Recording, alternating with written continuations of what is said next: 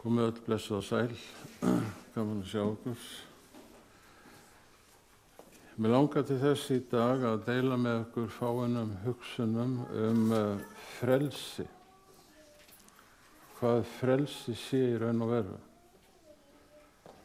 Því að það er uh, mjög vinsælt í dag að tala um að allir séu frjálsir í merkingunni gerðu það sem sýnist og uh, mikið talað um uh, tjáningafrelsið segðu það sem þið sýnist og teiknaðu það sem þú vilt. Og uh, ef það bytnar á einhverjum þá bara er það svo leiðis og maður spyr sig að því hvort að við sem ekki farin út fyrir veldsæmismörk þess sem við kallum frelsi. Um, það eru ágætt íslenskt máltæki sem segir oft má satt kjört liggja. Til þess að forðast átök. Og um, annað hugtak sem er oft notað er að hafa nærgátt í nærveru sálar og það er spurning hvort að svoleiðis viðhorf eigi ekki stundu betur við heldur en að segja, gera og teikna það sem ég sýnist á kostna annara. Þegar ég kendi við mentaskólan okkar í Nóri þá kendi ég meðal annars trúabræða sögu og um, um sjálf trúabröðin og ég leiði mér að leggja ríka áherslu á það við krakkana. Þó er náttúrulega eldri táningar en krakkar einhvað síður raun og veru. Að hér leifum við okkur ekki að nota ljót orð um skoðanir annara og allra síst ef um trúmál er að ræða. Við getum verið ósamála trúni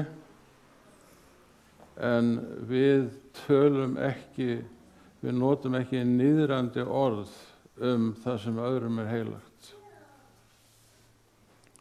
Og uh, ég held að það skiptir miklu máli að við gætum okkar í framkomi við aðra og eh, reynum að bera virðingu fyrir því sem öðrum er heilagt.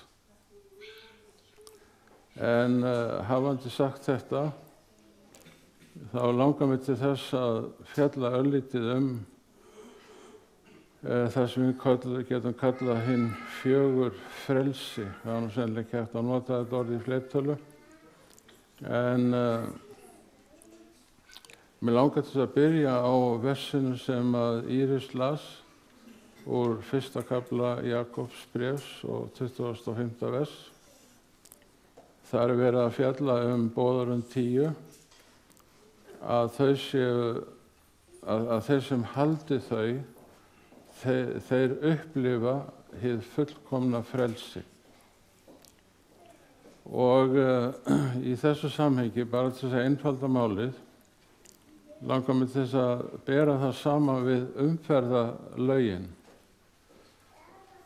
Ef það er tekinn svo ákvörðun að fjarlæga öll, allar umferðarreglur, ljósinn, skiltinn, að það eigi að kæra hægra megin eða vinstra megin, hvernig heldur að ástandi yrði á vegum landsins? Myndi þér finnast þú vera frjáls að keira það sem að engin lög, enga reglur stýra umferðinni? Ég held ekki. Uh, og um, Guð hann, hann gaf okkur þessar fáu reglur til þess að samfélagið gæti uh, þróast sem best. Og um, ég veit uh, að þegar að sumir svo kallaði mótmælendur uh, fluttust til bandaríkjana og settust þar að, þá voru til heilu bæjarfélögin og litla sveitir þar sem þurftir hvorki að læsa húsum eða fylgjast með ókunnugum. Og það var ekki vegna þess að allir voru að segja öllum fyrir verkum heldur hafði hver og eitt fyrir sig tekið það ákvörðun að láta bóðurinn tíu, tíu stýra bæjarfélaginu, sveitafélaginu og svo kristnir voru þeir, ég má orða það þannig, að það heyrðist ekki einu sinni blótsirði í bænum eða í sveitinni, ekki vegna þess að prestunum sagði að þetta væri bannað, heldur var þetta bara hver og einn út af fyrir sig sem hafi komist á raunum að þetta væri óvið eigandi og þess vegna bölvaði enginn. Og þeir sem að kynntust þessum samfélagum í Ameríku fundu til ákveðinar, uh, ákveðins frelsis uh, þegar uh, einhver gisti þarna eða dvaldi þarna um skamman tíma. Þú gafst skilið, mér líka að segja, ferðartöskuna þína eftir á götunni, það var einhver sem dætti í huga að taka hana. Og þú gafst farið auðveldlega á milli húsa þó að ekkert ljós væri og kvöld væri komið og ekkert tungskinn. Því að þú varst alveg vissum að það myndi enginn ráðast á þig. Þannig að, að lög þau stýra samfélagi þannig að þar ríkir frelsi og öryggi, ekki síst öryggi. Á alþingisbyggingun okkar er til frægsetning. Með lögum skal land byggja og ólögum eyða. Þessi setning kemur frá norska frostaþinginu sem til var á dögum vikingana og þeir tóku þessa hugsun með sér hingað að með lögum skal landbyggja og ólögum eyða. Sá sem er að undirbúa sig undir það að taka bílpróf, hann verður að læra utanað og muna og kunna allar reglur umferðarlagana, annars fær hann ekki prófið. Og það er eins með okkur að uh, þessi nýji sáttmáli sem Jésús vil gera við okkur, þú getur alveg borið hann saman við bílprófið. Ef þú vilt gera þennan sáttmála við Jésús, þá fylgja því ákveðin skilirði. Og eitt af skilirðunum er, þau, er, er það að þú viðurkennir og virðir og heldur bóðurinn tíu með hjálp heilasanda eins vel að þú getur. Það er að segja að þú elskar náðungan eins og sjálfa þig og Guð meirinn allt annað. Og uh, þetta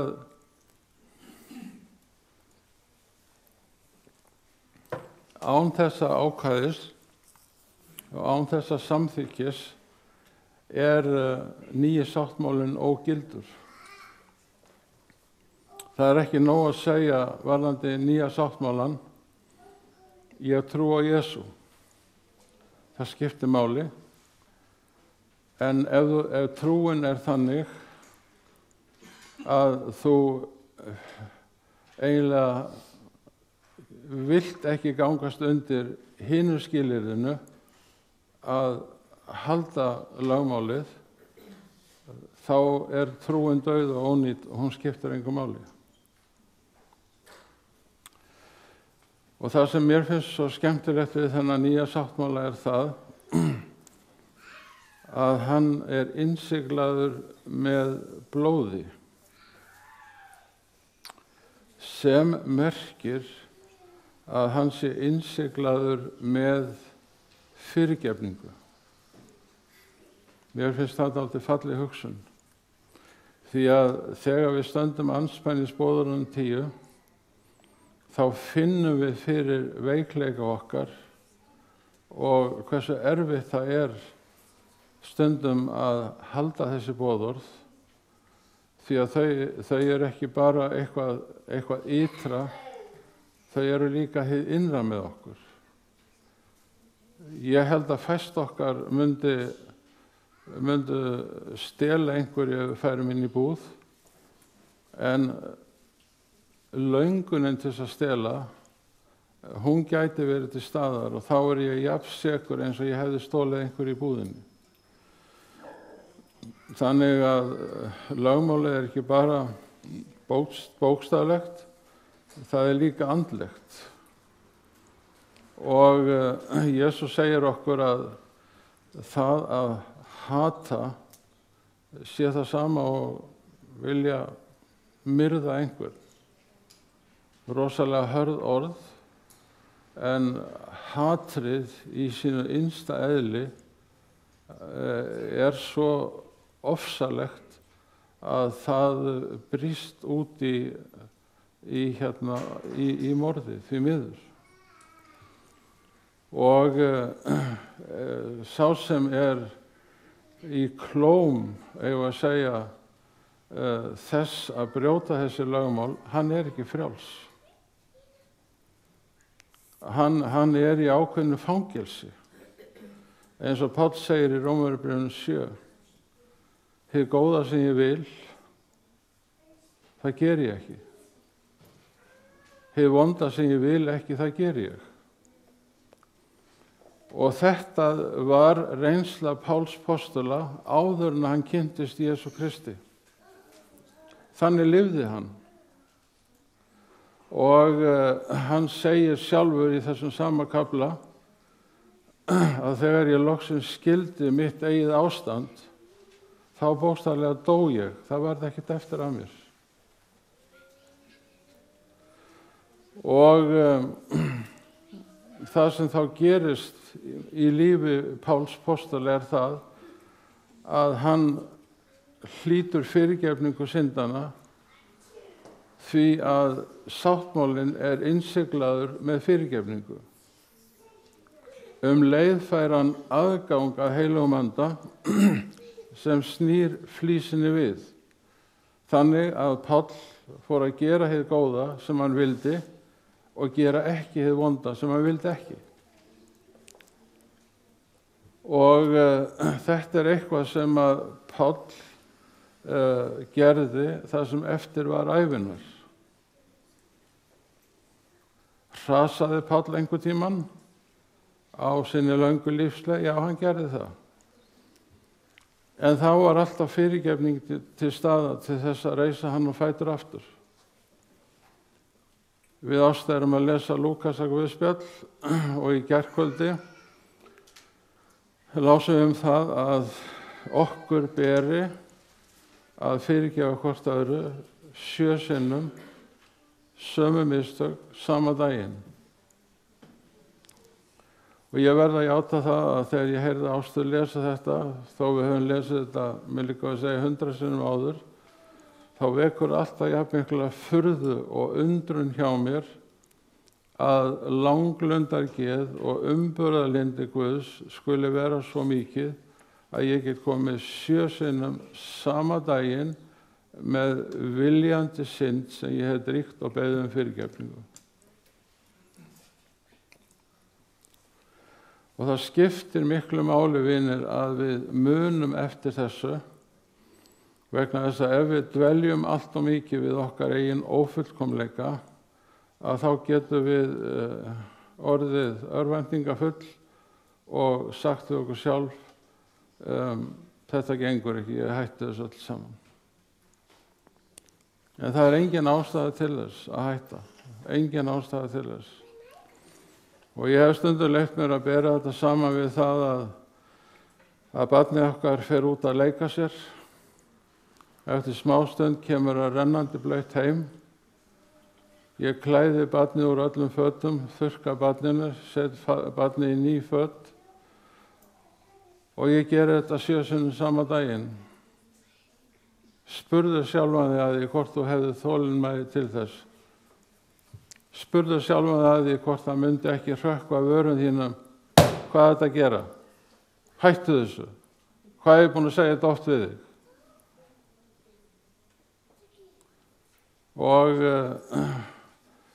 en vinir, ef þetta væri ekki satt, þá væri ég hvorki hér á þessum ræðustóli í dag ég væri ekki sjönda safintisti ég væri ekki kristinn ég væri glataður. Þegar, því að þegar ég lít tilbaka yfir mín 75 ár þá það vil ykkur að segja eins og einn af konungum breyta þegar hann lág bannalegun og spurði hvort hann ætlaði ekki að játa syndi sínar. Hann sagði þó ég fengi jafnmörg ára og ég hef lifað, þá myndi það ekki duga til þess að játa alla mínu syndis. En einhvað síður er sannleikurinn um ræningan og krossinum sannur. Hversu langan tíma fekk hann til þess að uh, helga lífsitt Guði? Fá hennar tíma.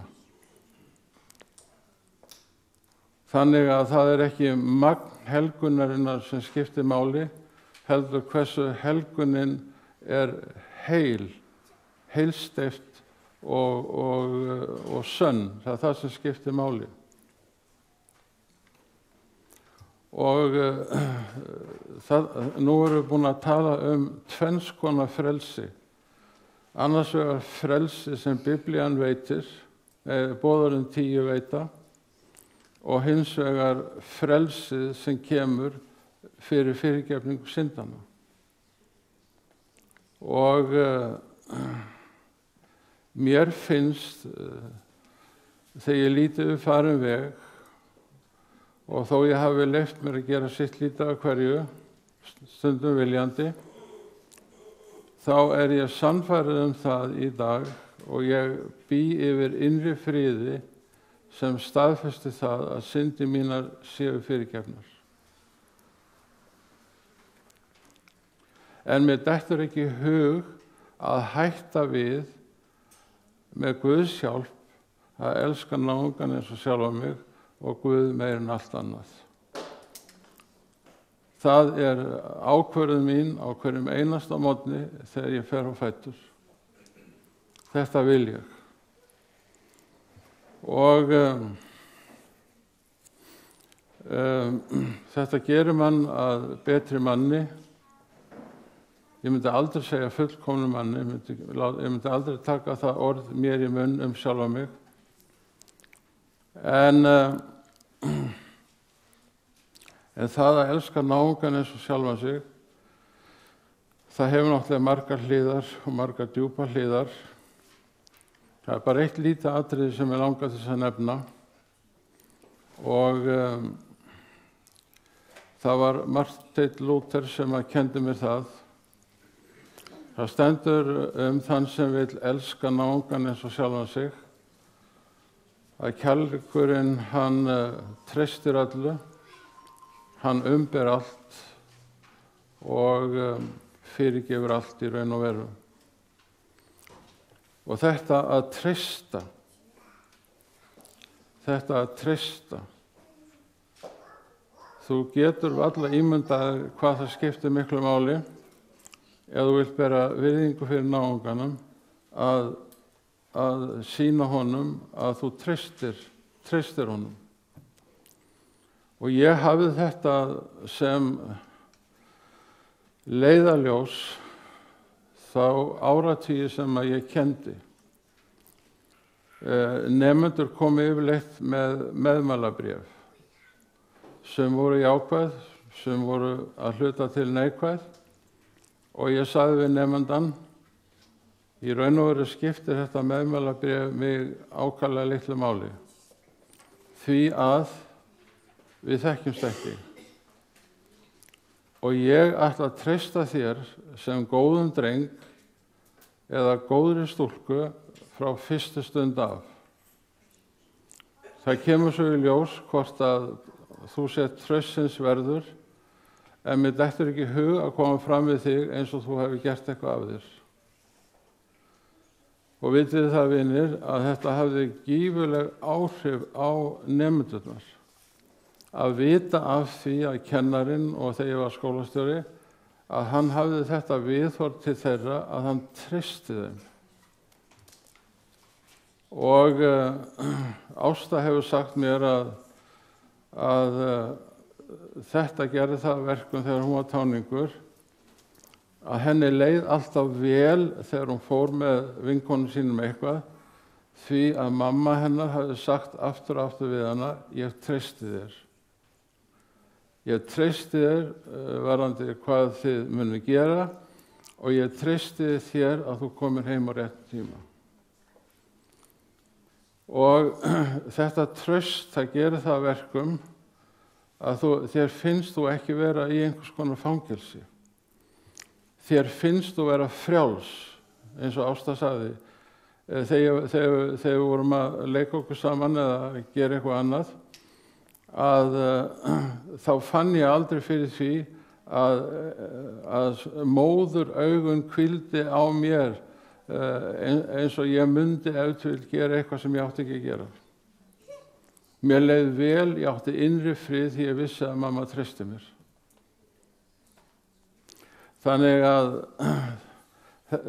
þessi lögmál Guðs, hvort sem það er bóðurinn tíu eða fagnar erindið, því að í Rómuribrefinu er fagnar erindið kallað lögmál, sem í raun og veru merkir þá bara fræðsla. En, en, en þessi tvö lögmál, þau skipta okkur mennina alveg gífurlega miklu máli upp á það að líða vel. Og þegar ég hitt einhvern ókunnugan, mér dættur ekki hug að vantresta honum og ganga út frá því að hér sé einhver óheiðalegu maður á ferðinni. Og það að nefnandin trúði því að kennarinn, skólastjórinn, hefði svona viðhór til hans, það gerði það verkum og hann leiði mikið betur.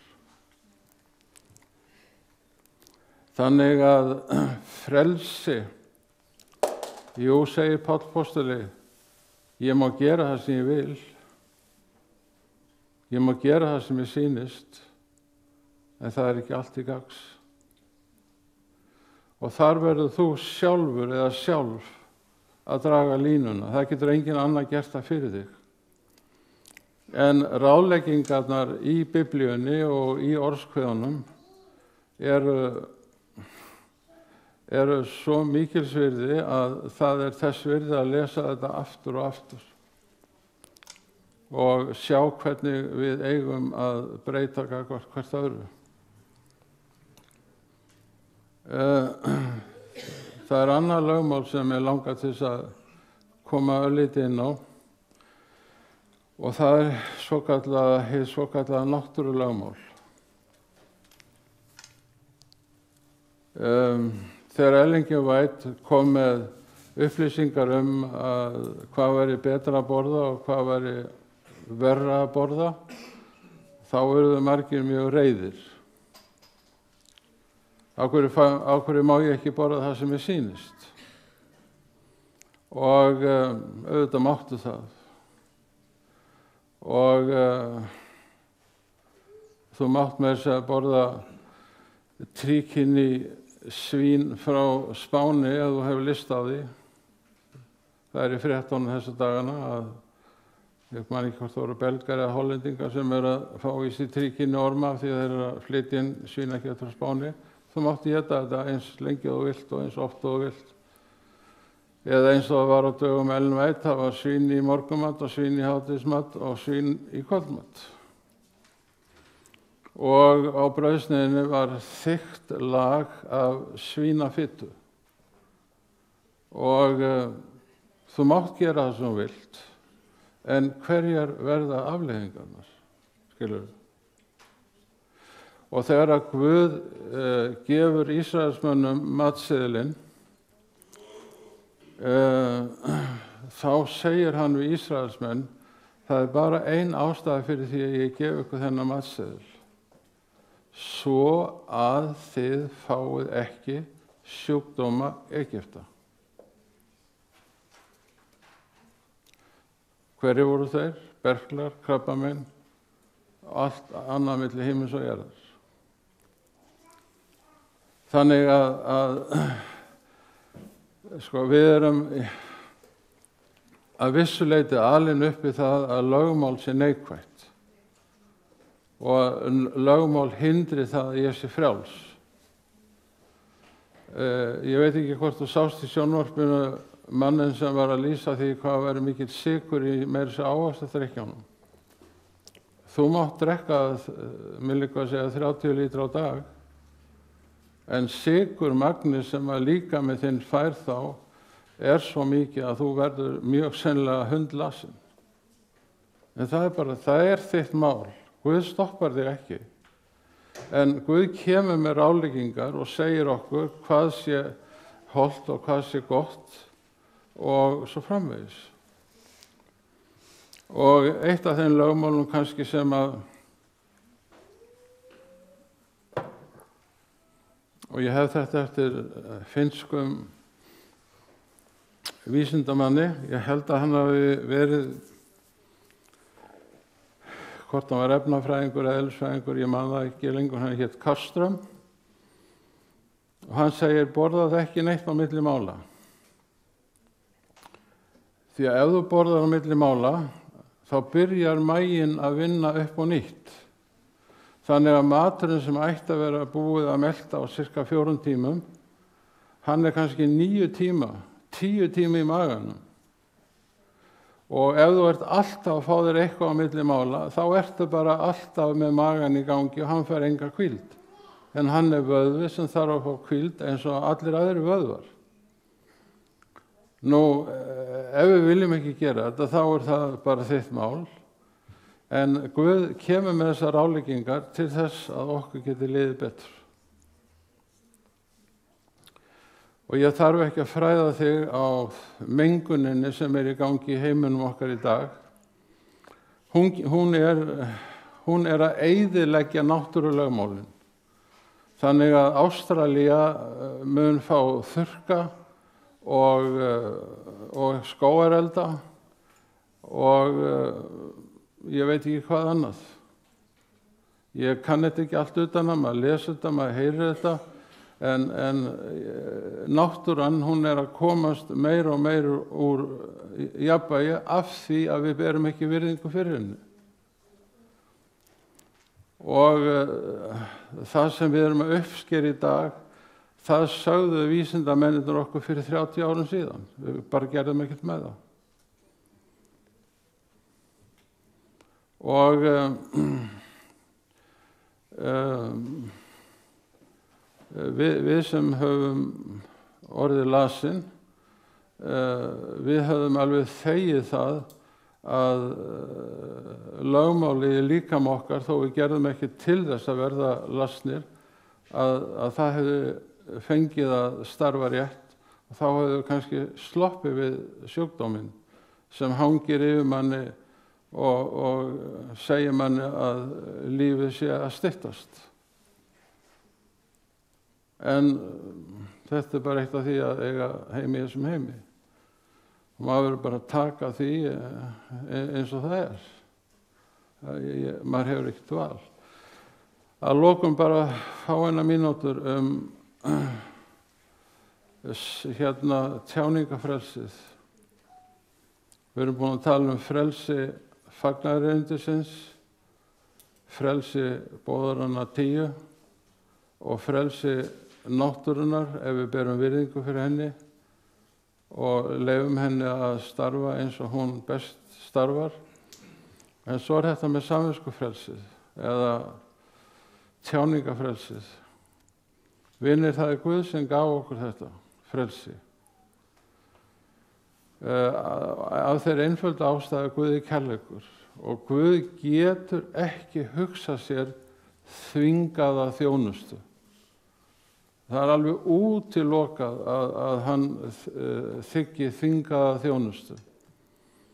Og uh, ef að ég hefði þvingað ástu upp á mig, þá hefðu við lifað í mjög óhamingisum við hjónabandi og öruglega skilið eftir 5-6 ári eða kannski ennþá fyrr. Hvorki karl nýja kona getur lifað í þvinguðu hjónabandi þar sem engin ást er. Það heldur það engin út. Og, og það er Guð sem að gefur okkur þetta, þessa megin reglu. Og sumir spyrja verður ekki þá synd á himni? Jú möguleikin er fyrir hendi.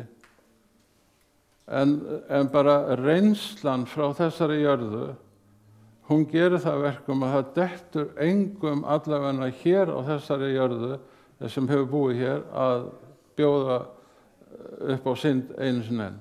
Það dettur engum í hug. Kostnaðurinn er allt og mikill styrjaldir, sjúkdómar, döiði. Það vill þetta enginn. Þetta er viðbjóður. Og, en það er mjög vandfarið með þetta frelsi. Ég veit ekki hvort þú þekkir Stephen Fry. Gýðingur, snar gáðar, skemmtilegur, nýbúin að gifta sig strák sem er hvað 20-30 árum yngri og hann var með grein núna fyrir nokkrum dögum þar sem hann er að úthúða Guði. Af hverju er þetta litla barn fjögur ára gammalt með beinkrabba? Skilur, eins og það væri Guð að kenna. Hann, hann fattar það ekki, blessaði Stephen Fry, þrátt fyrir alla sína greind, að manninum var gefið frelsi til að velja. Og ef við veljum óhóllustu áratugum saman, öldum saman, þá kemur að afleiðingunni. Hún kemur kannski ekki undir eins, en þegar að framlýða stundir, þá bregst náttúrulagmálið í líkama okkar mannana og við fáum sjúkdóma sem okkur dætt ekki í huga að við myndum fá. Þetta er arfur liðina kynnslóða sem sum okkar því miður verðum að upplifa. En það er ekki af því að Guð vildi það, heldur vegna þess að við, mennirnir, vikum af þeim megi sem Guð mælti með. Og þegar við sjáum þessi lagmál frelsisins í jákvæðu ljósi að þá er í raun og veru óbáslega gott að þekkja þennan réttláta, samgjarna, umburðalinda, þólinnmóða og fyrirgefandi Guð. Og ég ætla að enda á hugsun sem að ég hef vitnað í stundum áður hér En Nobelsvelunahafinn uh, uh, Camus, franskur, hann sagði, ég vildi óska þess að það væru bara kristni menn sem byggu hringin í kringum uh, heimili mitt. Því ég veit að hinn er kristnu mun að láta dætu mínar í friði og konna mín í friði þegar ég er ekki heima. Engin þeirra mun stela nokkur frá mér og engin mun þeirra mun koma illa fram við mig eða aðra. Þannig að hann sá, hann sá gildi þess að vera kristinn og gildi þess að búa innan um kristna menn. En hann var of hrifin af nætulífi Parísar fyrir sjálfan sig, þannig að Hann eh, yfirgaf það aldrei fyrir miður en hann gætt notið þess í gæsalöpum vitandi það að kona hans og börn voru í góðum höndum þar eða bara kristni menn byggu í hringin í kringum hann. Takk fyrir.